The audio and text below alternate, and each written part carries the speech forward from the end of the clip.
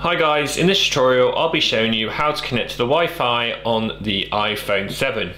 Obviously connecting to the Wi-Fi, your home Wi-Fi connection is one of the most important things you can do when initially setting up your device.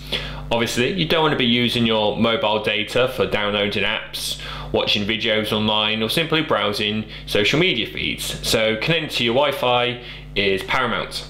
To do this, we first open up the settings app and from there we'll find Wi-Fi listed at the top. Now ours is currently turned off, so if we press on the option and then toggle this option to on, as you can see it's now scanned for the networks in our area. As you can see it's automatically connected to our network as I've previously set this up. So what I'll do is I'll forget this network as shown, go back. So when it scans for your network, as you'll see, my network is now listed there.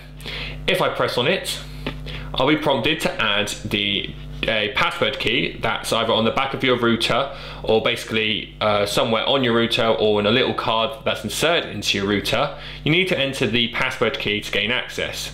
Now obviously I'm not going to enter the password to my Wi-Fi on screen so you're going to see a jump cut about now. Okay now that I've entered the password I can press join. And that's the top it will say joining network once you know your Wi-Fi is connected, you'll get a tick symbol next to your uh, router and at the top you'll see the small Wi-Fi symbol to let you know you're connected. And that's how you connect to the Wi-Fi on the iPhone 7. Thanks for watching.